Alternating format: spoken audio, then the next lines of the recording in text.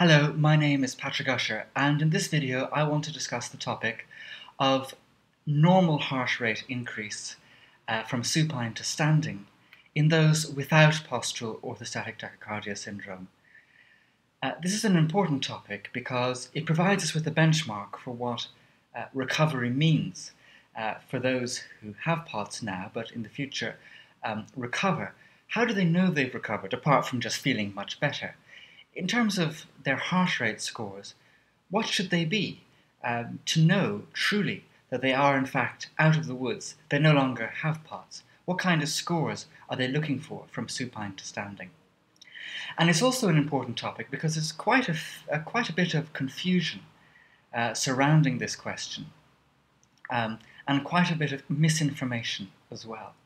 So I want to address it um, so as to give people a benchmark and also just, just to provide clarity, because it's not a question that many people will ask themselves, um, and um, it's really a question that's most of interest to those who have POTS and who are trying to get better. So, um, the first thing I want to say, just to look at my notes, um, is to say what is not the case. Okay, and this is where there's a degree of confusion because um, you may read the idea on the internet, uh, in POTS forums or here or there, that the nor- normal situation for the heart rate from supine to standing is that it basically doesn't change. So the idea goes that if your supine heart rate is 75 or 70 and you stand up, it should basically be pretty much the same. So 70 again. Um, or you see the idea put forward that um, you stand up and your heart rate goes up for the first few minutes, but then it's meant to settle back down. So uh, someone has a supine heart rate of 70, they stand up, it's 85, 90, and then uh, after a few minutes it should go back down to around 70. This is simply untrue um, and uh, very, very inaccurate. Okay. Um, your heart must beat faster when you stand up. It has no choice in this matter. Okay, the body is engaged in a lot more activity when you stand up. There's a lot more demands placed on this cardiovascular system. Um, there's a lot more demands placed on it due to gravity. Uh, when you're lying down, your body is relaxed, your veins are relaxed, they're dilated.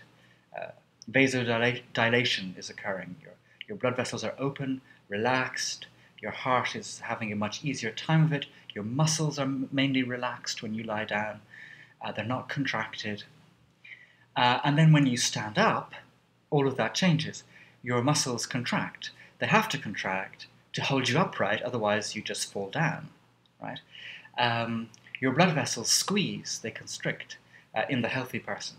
Um, um, um so, so at some level, the muscles are working uh, even if it's slight, they still have to work. And of course, you're upright. All of a sudden, your heart, which beforehand all it had to do was pump blood around a supine body, which is much easier, now suddenly has to work against gravity to pump blood up to the brain. Um, whereas before you're lying down and it's much easier. Um, the effort required is, is much slighter. So you stand up, the muscles are suddenly being used, um, the heart has to beat uh, faster to get blood to the brain, right? Because it's hard. You're in gravity then, right? Um, so from, from all those sort of um, uh, basic scientific points of view, your heart must beat faster when you stand up, and it must stay beating faster. Um, there's simply no choice in this matter. And I talk about this uh, in my book, um, POTS What It Really Is and Why It Happens, on page 12, uh, which I'll read in a second. Um, but I just want to add, yes, so, the, thing is then, okay, well, well, how much more should the heart beat upon standing up? Uh, what is a normal increase? And I'll speak to that in a moment. So I say on page 12, it is of course normal for the heart rate to increase upon standing up in everyone.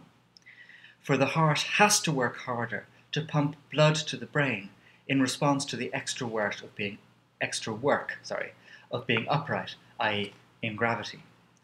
However, in the person without POTS syndrome, the heart rate usually only increases between 10 to 20 beats from supine to standing, not 30, 40, or even 50 beats more, as is seen in the case of the POTS patient. As Professor Raj, is Professor Satish Raj, who studies dysautonomia uh, first at Vanderbilt and now at Calgary University, as Professor Raj, as it's a hot day here today, I'll try again. As Professor Raj has written of the heart rate increase upon standing in the healthy person, the quote, assumption of upright posture results in a 10 to 20 beats per minute increase in heart rate.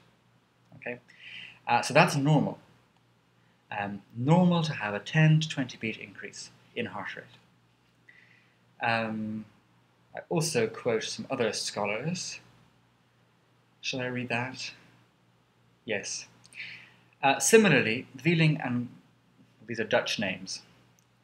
Um, Wieling and Groothuis, I, am not sure, okay, uh, very limited Dutch, write that under normal circumstances, orthostatic pooling of blood begins almost immediately upon the change from supine to the upright posture.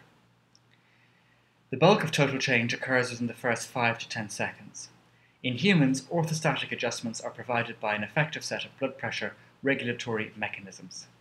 They maintain blood pressure at an appropriate level for perfusion of the vital organs even for the brain, which is located above the heart. To achieve this, the regulatory systems increase heart rate, cardiac contractility, and vascular tone to stabilize blood pressure at the level of the heart and brain. So it has to happen, okay? It must increase. There's no choice. Um, likewise, uh, there are other, other sources uh, which back this up.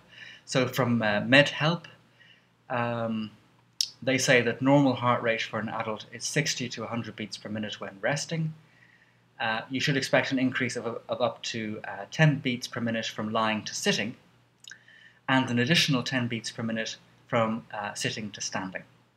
Okay, uh, so in that case, they're talking about up to 20 beats increase. Similarly, the website Texas Heart um, says that, and this, is, this was uh, something written by Mohammed Saeed, who's a, cardiologist at that institute, and he wrote that in adults, uh, the heart rate tends to be slower when supine, about 60 to 70 beats per minute, and speeds up when we sit or stand, between 70 to 90 beats per minute. So again, there's a kind of 20 increase there. Um, and finally, uh, the Livestrong website uh, says that if you measure your resting heart rate standing up, versus lying down, the number may be 10 to 15 beats higher. So they, they say 10 to 15, but Professor Raj says 10 to 20, and it is 10 to 20, that's normal. Uh, and in some cases, of course, people have an increase of between 20 but less than 30. Um, so they still don't meet the diagnostic criterion for POTS of, of plus 30 beats per minute. Um, now, for those people, what's going on? Usually they're just unfit. Okay, um, I haven't managed to find the source, but, but a few, uh, about a year and a half ago, I read an article which talked about different heart rate ranges upon standing, and they had what was called the delta heart range, which is if you have a heart rate increase of between 20 to 30 beats upon standing. And, and if my memory serves me correctly in that article, they talked about that as being indicative of just um, cardiovascular weakness through deconditioning. So that plays a role as well. Okay, so you could have an increase of more than 20 but less than 30, and uh, that isn't indicative of POTS. Okay, it's indic- it just, just it may just be indicative of being unfit. Okay, um, so basically, what all of this means is that if you are recovering from POTS by following the brain rewiring program that is the DNRS, Dynamic Neural Retraining System, um, you have recovered when your heart rate is consistently going up between 10 to 20 beats per minute. And you may have recovered even if it's going up um, uh, more than 20 but less than 30. You may just be unfit. Uh, or your NET proteins may not have healed up yet. Um, if that is all Greek to you, um, watch my hour-long talk on, on, on, this channel as to why the NET protein, uh, NET proteins being deficient or healed up is important. Um, so, if you have an increase of 10 to 20 beats per minute, you are out of the woods. You no longer have POTS. Hallelujah. Uh, go and have uh, uh, some sort of celebratory drink. Um, um, uh, I don't drink alcohol anymore, but you know something. It could be whatever. Mango lassi. Anyway, um, you know, y- you're out of the woods, okay? And um, it is absolutely not the case that your heart rate is meant to be the same as when you're lying down. No one's is like that. It would be nuts, okay? Um, it's beyond the laws of gravity and physics uh, for that to be the case. Um, the, the other thing is, uh, and this is of course why the criterion is 30 beats per minute. If it were the case that, you know, it should be a cause for concern if your heart rate goes up, say, 15 beats per minute from supine standing, then that would be the criterion for POTS. But it's not, it's 30. And there's a reason for that, um, because that's, that's a significant increase uh, above and beyond the normal, right? Um, uh, now, in, in the Netherlands, uh, the suggested increase criterion for POTS is 27.5, I think. Um, and for children, they often put it at plus uh, or 40 or more beats per minute. Uh, because uh, in children, the heart rate increases even more from supine to standing. So um, I hope this, this is a helpful video um, for those of you who are recovering to know what, what your benchmark is, what you're aiming at, what's normal. Um, and, um, you know, when I was sick, I, I, got a lot of my friends to, to, uh, to indulge me and to, to measure their heart rate from supine to standing. And it was usually things like lying down 68, standing up 82, you know, things like that. I have one friend actually who who's very athletic, uh, was then anyway, uh, um, but um, his lying down heart rate was 40 and his standing up one was 70, but he didn't have POTS. So it is actually possible, um, you know, so that, that's indicative, his low heart rate is indicative of a, of a kind of athletic heart. Um, but when he stood up, it was 70, and he doesn't have any of the symptoms of POTS. And if you read some of the articles online about POTS, um, they also make the point that your heart rate can increase 30 beats per minute um, from supine to standing, and you have no, none of the symptoms of POTS, and therefore you don't actually have it. So you have to have the other symptoms as well. You have to have uh, all of the horrible symptoms. Um, really, it's not just heart rate. Is the point. Anyway, um, so that is that. 10 to 20 beats per minute means recovery. That is the criterion for recovery. That is the criterion for normality. Um, and I hope that uh, is helpful and that there's anyone out there who's rewiring and they're wondering, oh, well, why hasn't my heart rate gone way down? You know, it's not meant to. Okay, it's not meant to. So that's all I want to say about that, and I wish you a pleasant day wherever you are.